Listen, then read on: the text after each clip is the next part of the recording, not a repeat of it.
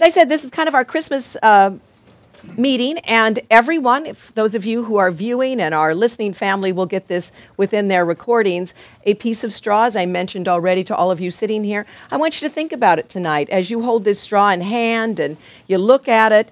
Or if you don't have a piece of straw, think of taking a toothpick or a piece of grass or a piece of string or anything can represent. What we want to use this is to represent anything that has hurt us this past year anything that we would like to have healed in our lives. And the symbolism is, is that we are going to place this in the manger where Christ is born and allow Him to transform it into a miracle. Because our pain and suffering, in His view and vision, are gone. And what is left, as the Course would say, is a miracle.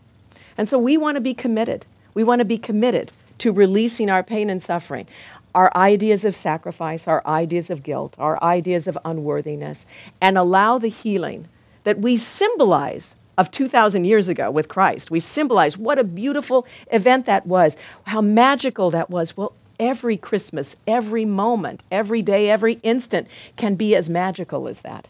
We can be transformed. And that's what the holidays are about. That's what Christmas is about, this miraculous transformation. And that doesn't have to be excluded to just Christmas. It can happen right now. And so we're going to symbolically do that. So we're going to hold on to it during the meeting, this little thought, this, this little straw, and then allow that to be transformed at the end. Yeah, Frank. Isn't it perfect because a Christmas star, doesn't the text say? Um, the sign of Christmas? A star is born where an ancient hate has been replaced by present love. Well, there you go. Yeah, yeah. So it's, it's this beautiful thought that, that within what seems to be great challenges can come great opportunities.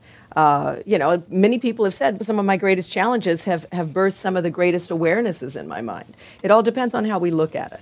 So we can look at the pain and suffering and move past it, as the Course is always telling us, to the miracle. Just like it says, we can get above the battleground, meaning that when we're down in the battleground, the answer is always there. They often say that in nature, the, the problem is grows right, or the poison grows right next to the antidote. So wherever the problem is, so is the solution. And the Course is constantly telling us, even though this world may seem like an attack on God, and has been said that that's what the world of form is, it says that within this world that is wholly neutral, we have the ability to see as God would have us see, to see the love that is always there.